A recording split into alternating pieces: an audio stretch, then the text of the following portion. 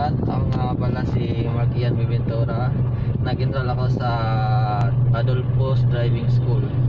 At grabe, grabe yung training nila dito. Napaka, napaka-intense. Natuto ako, natuto ako na mag-drive sa mga trail, sa mga makitid na daan. Sa, natuto rin ako kung paano mag-proper ya, U-turn, proper left turn, proper, proper left turn, right turn. Marami pang iba yung matutunan mo dito sa school na to. Lalo na lalong lalo na po yung nagtuturo sa amin na si Sir Adolfos po. Ang galing-galing niya pong magturo.